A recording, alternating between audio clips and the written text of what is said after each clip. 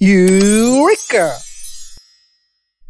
In our previous video, we discussed the various types of paraproteins, including heavy chain paraproteins and light chain paraproteins.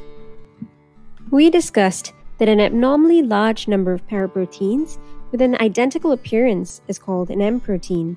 They are produced by an abnormal clone of plasma cells. In this video, we discussed the various types of plasma cell disorders. Plasma cell disorders include myelomas, plasmacytomas, plasma cell leukemias, AL light chain amyloidosis, heavy chain disease, and rarer diseases like Castleman's disease and Poems syndrome. In this video, we're going to take a closer look at the different types of myeloma. Let's start off with MGUS. MGUS is defined by the following criteria. First, less than 3 grams per deciliter of M proteins. Next, less than 10% of plasma cells in the bone marrow. And third, no features of end organ damage, that is, no evidence of hypercalcemia, renal impairment, anemia, or bone lesions. MGUS on its own is benign. The significance of the large amounts of paraproteins is not known. However, MGUS can progress into something more sinister. The rate of progression of MGUS into a malignant condition occurs at varying rates depending on the type of paraprotein produced. IgM MGUS has the highest rate of progression, at a rate of 1% per year, into Waldenstrom's macroglobulinemia and rarely IgM myeloma. Waldenstrom's macroglobulinemia is a type of blood cancer resulting in the excessive production of a very large number of the very large IgM molecule. These large IgM molecules increase the viscosity of blood and have the propensity to cause thrombotic events. Non IgM MGUS progresses at the rate of 0.5% a year into multiple myeloma and plasmacytomas.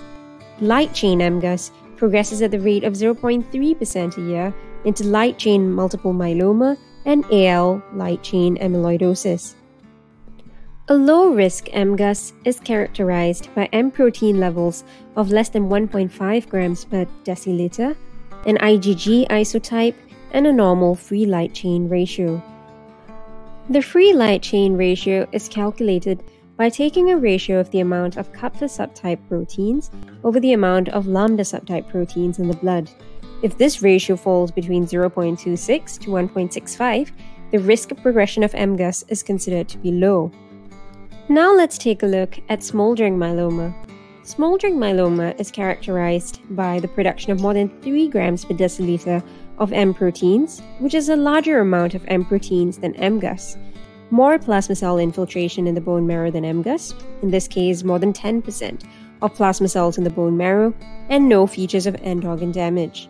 That is, no hypercalcemia, no renal impairment, no anemia, and no bony lesions.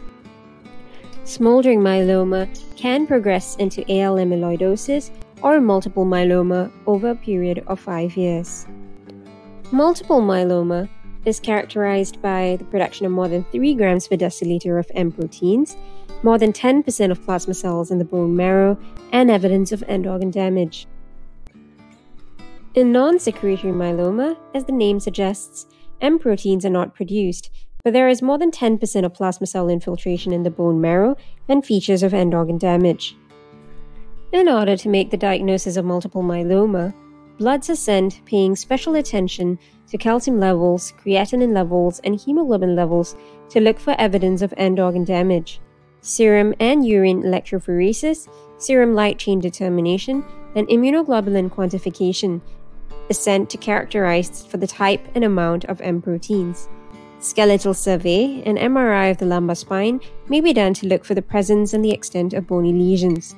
A bone marrow aspirate may be done to quantify the amount of plasma cell infiltration into the bone marrow. For the purposes of prognostication, the LDH level, the beta 2 microglobulin level, and the albumin level may be sent as well. Thank you for watching! Check out Eureka for more videos such as these. And don't forget to like and subscribe.